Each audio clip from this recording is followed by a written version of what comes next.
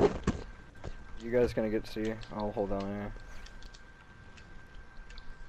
You know, if our Orochi doesn't kill me, yes. Well, our Orochi killed me.